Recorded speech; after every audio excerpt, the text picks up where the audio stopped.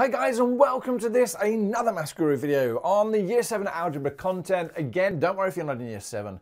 All of these videos are just for anybody who wants to watch and who has an interest in algebra. We are going to be dealing with expanding brackets. Now, if you are watching on my YouTube channel, do me the favor and in that bottom corner there is a little doohickey that if you haven't already done so, will subscribe you to my channel. Now, subscribers are really awesome because uh, it just lets me know that someone out there is watching maths videos.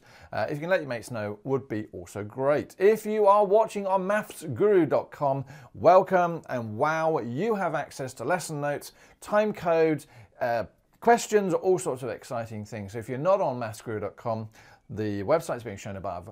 Flip over there now, and uh, you're not missing out on anything. In fact, you'll probably be gaining.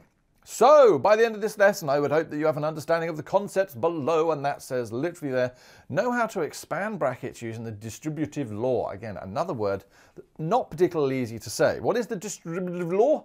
Come back to that in a moment. We have learned much about maths and algebra already. As I say, I'd like to do a bit of a recap. We have looked at terms and constants and pronumeral and a lot of language in these videos to be able to help you master this stuff.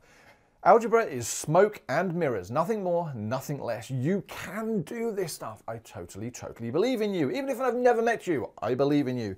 Uh, if I can do it, then you can, because I hated maths at school with a passion, which hopefully means I'm making these videos make sense for you.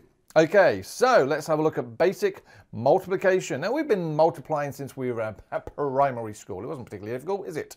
3 times 4, I'm going to multiply that together. 3 times 4 is 12. We also know that 4 times 3 is 12 as well. Okay, that's really, really important. Don't forget to know this stuff. But what about when we multiply 23 and 5 together? Again, you're probably sitting there going, what on earth is this video I've tuned into? I thought it was about algebra. We're getting there. And I have to say, if you understand by the end of this video the work that I have done, then you're going to be able to do year 10 algebra like that. It's not going to be difficult in any way, shape or form, but we have to understand the basics first. Okay, so 23 uh, times 5, 23 times 5. Now when I was at school, we were told to do 23 and we do times by 5 and we do these little lines there and then what do we do? We say, well, okay, I'm going to do uh, 5 times 3. And we know that 5 times 3 is 15 and for some random reason we put the 5 there and we put the 1 down there. Now it's not a random reason because 5 was the units which is going to go in my units column and 1 was the tens which is going to go in my tens column. Having done that, we then move and we do 5 times 2, which is 10, and we add the 1, which gives me 11. So 23 times 5 is 115. That's certainly one way to do it, but I really like this idea here. So I'm just going to write it out again. I've got 23 times 5. Now I know that that's the same as 5 times 23, which is the same as 5 times 20 plus 3. Do you notice what we're doing there? We're basically breaking up that 23 into two individual things. You know, a tens thing, as in two lots of 10, so 20 plus my three units. Now what happens then is to multiply these out together, I could do the 5 times the 20, so that's the same as 5 times 20 plus 5 times 3, which is 5 times 3. Now again, that is no different from what we did here.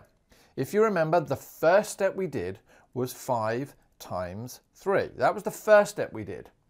And then we did this 5 times the 2, but what we had to remember was that was the same as 5 times 20. What did we then do? We actually, whether we realized it or not, we were adding those two results together. So 5 times 3, oh, hold on a moment, 5 times 3 and 5 times 20. Well, 5 times 20 we know is 100.